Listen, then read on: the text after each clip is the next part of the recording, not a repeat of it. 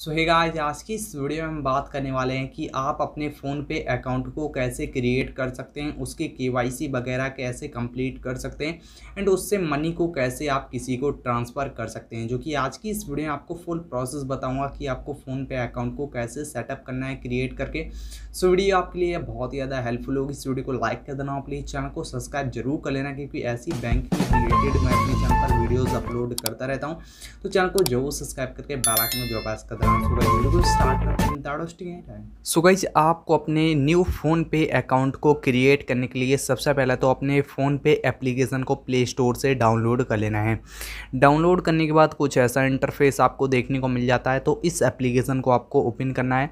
Open करने के लिए सिंपल से आपको नंबर पूछा जाएगा इंटर योर मोबाइल नंबर तो आप ध्यान रखिए कि जो भी आप मोबाइल नंबर डाल रहे हैं वो मोबाइल नंबर आपके बैंक अकाउंट पर लिंक होना चाहिए और साथ में उस मोबाइल नंबर पर एक रिचार्ज होना चाहिए, जिसके थ्रू वो मैसेज मतलब जा सके यूपीआई पर। तो सिंपल से उसी फ़ोन नंबर को आपको इधर पर इंटर कर देना है, जो कि आपके बैंक अकाउंट पर लिंक है। तो हम सिंपल से फ़ोन नंबर को डाल लेते हैं, फिर आगे का प्रोसेस आपको बता देते हैं। सो so जैसे कि हमने फ़ोन नंबर को डाल लिया एंड प्रोसीड वाले बटन पर आपको सिंपल से क्लिक कर देना है। जैसे ही प्रोसीड पर क्लिक करते हैं तो आपसे परमिशंस मांगी जाएगी तो अलाउ पर आपको सिंपल से क्लिक करना है। एंड अलाउ पर जैसे ही आप क्लिक करते हैं तो enter the five digit OTP मांगा जाएगा। ये ऑटोमेटिकली आपके फ़ोन नंबर पर डिडक्ट कर लेगा और आपका ओटीपी इधर पर ऑटोमेटिकली जनरेट हो जाएगा। तो सिंपल से कुछ ऐसा इंटरफेस इधर पर आपको देखने को मिलेगा। तो इधर पर आपको कैंसिल पर सिंपल से क्लिक करना है। कैंसिल पर जैसे ही क्लिक करते हैं, जो आपका फ़ोन पे अकाउंट है, वो लॉगिन हो चुका है बट अभी क्रिएट नहीं हुआ है। अब आपको क्रिएट करने के लिए सिंपल से एक बैंक अकाउंट को ऐड करना पड़ेगा, जिससे आप अपने मनी को ट्रांसफ़र करेंगे या फिर किसी के थ्रू एक्सेप्ट करेंगे अपने मनी को। तो सिंपल से ऐड बैंक अकाउंट का एक ऑप्शन ऊपर साइड पर ही आपको देखने को मिल जाता है। इस ऐड बैंक अकाउंट पर आपको सिंपली से क्लिक करना है। जैसे ही आप ऐड बैंक अकाउंट पर क्लिक करते हैं तो जिस भी मतलब बैंक पर आपका अकाउंट हो, उस बैंक को आपको इधर पर देख लेना है। तो जैसे कि हमारा पेटीएम पेमेंट बैंक है या फिर अगर आपका एसबीआई बैंक है, किसी भी बैंक पर हो तो इधर से आप सर्च कर सकते हैं। मेरा फ़िलहाल मैं पेटीएम पेमेंट बैंक में तो इधर से मैं सर्च करूँगा पेटीएम पेमेंट बैंक तो जैसे कि हम पेटीएम पेमेंट बैंक सर्च कर लेते हैं, एंड ये बैंक आ चुका है। इसके बाद आपसे मोबाइल नंबर पूछा जाएगा। तो जो भी आपके बैंक अकाउंट पर ये नंबर लिंक हो जिससे भी आप अपने फ़ोन पे अकाउंट को क्रिएट किए हों वो नंबर आपके बैंक अकाउंट पर लिंक होना बहुत ही ज़रूरी है तभी आपका बैंक अकाउंट इधर पर ऐड होगा। तो सिंपल से आपको चूज़ कर लेना है कि फ़र्स्ट में वो सिम या फिर सेकेंड में। तो मैं सेकेंड पर है तो सेकेंड में सिम सेलेक्ट कर लेता हूँ एंड कंटिन्यू पर मैं जैसे ही क्लिक करता हूँ तो कुछ ऐसा इंटरफेस आपको देखने को मिलता है एंड ओटीपी सेंड हो चुका है। जो भी आपके इस फ़ोन नंबर से अकाउंट होगा वो फाइंड करेगा फ़ोन पे। इसके बाद आपका जो अकाउंट है, वो ऐड हो जाएगा। तो थोड़ा सा हम वेट कर लेते हैं इसको फाइंड करने तक का।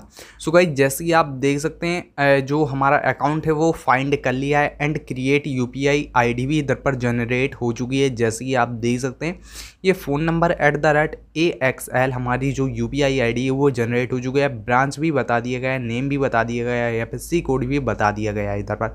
तो फाइनली हमारे बैंक अकाउंट को फाइंड कर लिया है एंड ऐड करने के लिए आपको प्रोसीड टू ऐड पर सिंपल से क्लिक कर देना है। जैसे ही आप इधर पर क्लिक करते हैं तो कुछ ऐसा इंटरफेस देखने को मिल जाता है अकाउंट एडेड सक्सेसफुल और साथ में आपके अकाउंट की इधर पर डिटेल शो कर दी जाती है। अब आपको U P I pin generate अगर आपको करना है, आप पहले से नहीं जनरेट किए होंगे यू पी आई पिन या फिर आप पेटीएम अकाउंट पर जनरेट करें मतलब किसी भी अकाउंट पर आप अगर यूपीआई पिन इसी बैंक के थ्रू जनरेट कर चुके हैं तो आपको दोबारा जनरेट करने का कोई भी मतलब आपको कोई भी परेशानी देखने को नहीं मिलेगी। अगर आपने जनरेट नहीं किया है तो इधर पर आपको जनरेट UPI पिन करके कुछ ऑप्शन देखने को मिलेगा। फिर आपको उधर पर करना क्या है? इधर पर आपको कार्ड डिटेल डालना है एंड कार्ड की एक्सपायरी डेट डालनी है। प्रोसेड पर आपको क्लिक करना है। इसके बाद आपके फ़ोन नंबर पर एक ओटीपी आएगा। आपसे पूछा जाएगा कि आप किस फोर डिजिट पिन को क्रिएट करें तो आप फोर डिजिट पिन डालेंगे एंड कन्फर्म पिन डालेंगे। इसके बाद प्रोसेट पर आप सिंपल से क्लिक कर देंगे। इसके बाद जो आपका यूपीआई पिन होगा, वो क्रिएट हो जाएगा। अगर आपका पेटीएम में अकाउंट बना हुआ है, उस पर आप यूपीआई पिन क्रिएट किए हुए हैं तो आपको कोई भी दिक्कत देखने को नहीं मिलेगी। फिर आपको डन पर सिंपल से क्लिक कर देना है। अभी भी जो अकाउंट है, आपका पूरी तरह से क्रिएट नहीं हुआ है। अब आपको पूरी तरीके से वैलेट आपको एक्टिवेट करने के लिए सिंपल से आपको अपने फ़ोन पे अकाउंट की के करना बहुत ज़रूरी है।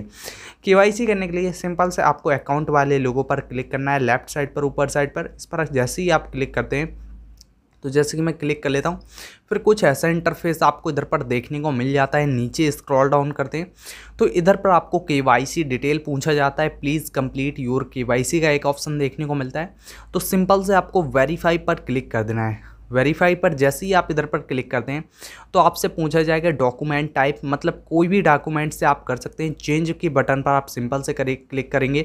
इधर पर आप पैन कार्ड से कर सकते हैं ड्राइविंग लाइसेंस से कर सकते हैं वोटर आईडी कार्ड से कर सकते हैं पासपोर्ट से, नरेगा का जॉब कार्ड से आप कर सकते हैं। तो सिंपल से हम पैन कार्ड से करेंगे तो पैन कार्ड नंबर आपको डालना है एंड पैन कार्ड के होल्डर का नेम आपको इधर पर इंटर कर देना है। तो हम पैन कार्ड नंबर अपना डाल देते हैं एंड होल्डर नेम इधर पर डाल देते हैं, फिर सबमिट करके आगे का प्रोसेस आपको बता देते हैं। सो so इधर पर हमने पैन कार्ड का नंबर एंड पैन कार्ड के होल्डर नेम का नेम इधर पर डाल दिया है एंड सबमिट पर आपको सिंपल से क्लिक कर देना है। जैसे ही इधर पर आप सबमिट पर क्लिक करते हैं, जो तो सिंपल से इस तरह से आप बड़ी आसानी से फ़ोन पे अकाउंट की के कर सकते हैं और साथ में अकाउंट क्रिएट कर सकते हैं। अब हम चेक कर लेते हैं, हमारी के डन हुई है या फिर नहीं हुई है तो सिंपल से बैक जाते हैं। एक बार रिफ्रेश करते हैं, एक बार पूरा कट कर देते हैं। फिर से फ़ोन पे एप्लीकेशन ओपन करते हैं। ओपन करने के बाद इधर पर आपको इधर पर कैंसिल पर क्लिक करना है एंड अकाउंट पर जाते हैं। अकाउंट पर जाने के बाद जैसे कि आप देख सकते हैं हमारी के डिटेल फिलअप हो चुकी है एंड हमारा पैन कार्ड इधर पर ऐड हो चुका है। सो जिस तरह से आप बड़ी आसानी से अपने फ़ोन पे अकाउंट को क्रिएट कर सकते हैं एंड इसका यूज़ कर सकते हैं एंड पेमेंट एक्सेप्ट वगैरह कर सकते हैं। अगर आपको किसी को मनी सेंड करनी है तो टू कॉन्टैक्ट पर आपको सिंपल से क्लिक करना है तो कुछ ऐसा इंटरफेस आपको इधर पर देखने को मिल जाएगा। ये प्लस का आइकॉन देखने को मिलता है। इस पर जैसे ही आप क्लिक करते हैं आप फ़ोन नंबर को एंटर कीजिएगा और आप उधर से बहुत ही आसानी से फ़ोन नंबर पर पेमेंट कर सकते हैं।